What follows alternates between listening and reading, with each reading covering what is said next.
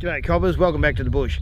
In this video we'll be checking out ABS versus gravel roads, help or hindrance. You might have recently seen an article in Western Australian paper and also on news.com.au saying that ABS is no good for dirt roads. Speeds you off to the side. Well, in this one we'll be checking it out. ABS, non-ABS, cadence braking and also threshold braking. Let's get into it. First up, we do a control on asphalt with ABS.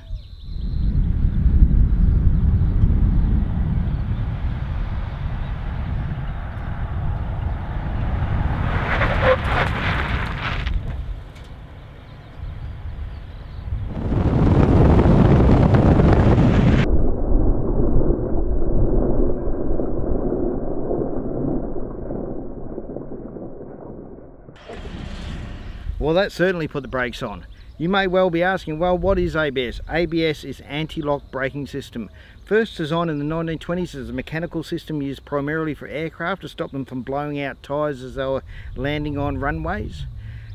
And then, first electronic implementation was by Chrysler in 1971 in their Continental and it's been getting better and better every day. What it does is it compares the speed in between the left wheel and the right wheel on an axle and front and back. Now if you happen to be skidding of course that will be turning a lot more slowly.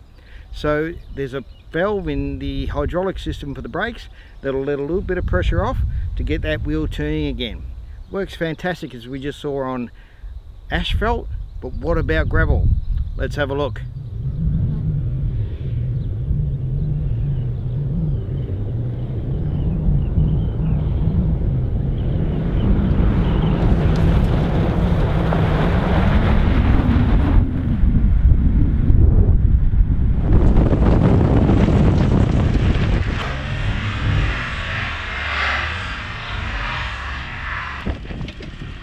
On the road from 60 kilometers an hour we pulled up in an average of 14 meters but what about on the asphalt? As we just saw it blew out the distances.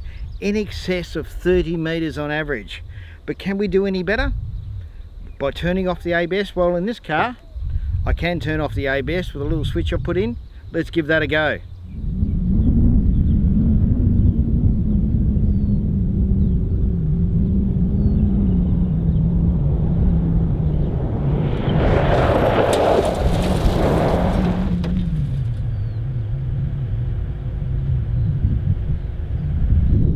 Well, I wouldn't have guessed that. 30 meters average with ABS engaged and 20 meters average just panic braking without the ABS. That blew out our braking distance nearly 50% at 60 kilometers an hour. So, looks like ABS isn't that flash off-road, but you've got to notice that it didn't spear us off into the distance. Sure, we followed the camber of the road, but can we improve that? What about cadence braking? Cadence braking is when you jam on the brakes very hard and then back off and steer. And jam on the brakes really hard and back off and steer. We'll give that a go and see what sort of distances we get. Bearing in mind, this technique should allow us to steer. Whereas panic braking, we pretty much plow straight ahead and follow the camber of the, of the road.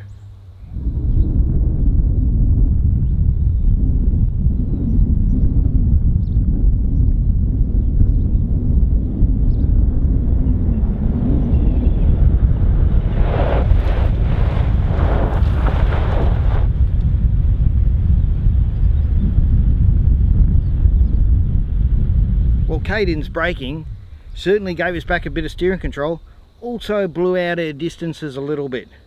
Not nearly as much as the ABS on an average of 20 meters with just fully locked to 25 meters on average from 60 kilometers an hour using cadence braking.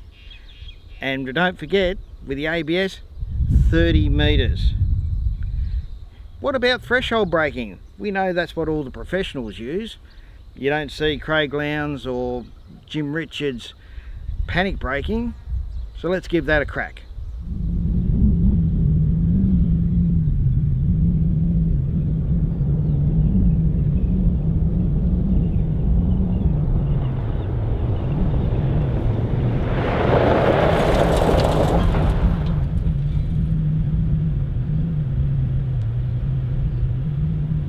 So as you can see, I'm not going to give you Craig Lowndes a scare anytime soon on any racetrack, but I decrease my distances using the cadence technique, which is pretty much POV spec ABS, to the threshold technique.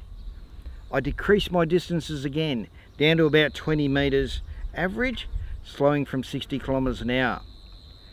Almost as good as I did by just locking it up. So why is it better on gravel? I'm glad you asked. So on gravel you're on a loose surface. You don't want to keep the wheels turning. What you need to do is you need to dig them in a bit and the only way you're going to do that is to lock them up for a second. So you need the wheels locking to break. In conclusion, well, turns out ABS isn't as flash as the car makers would tell you on gravel roads. However, having said that, it allows you to steer, which is a great thing. And it also, uh, in panic braking situations, most people can't threshold brake. They don't know how to cadence brake. And if they do, and if it's a practice skill, if a kangaroo jumps out in front of you, they're going to forget all about it. Use ABS, it saves lives. That's it. Now, if you like this video or even learned a thing or two, don't forget thumbs up, comment, even subscribe. Now, if you didn't like the video, of course I encourage you to thumbs down twice. See you in the next one.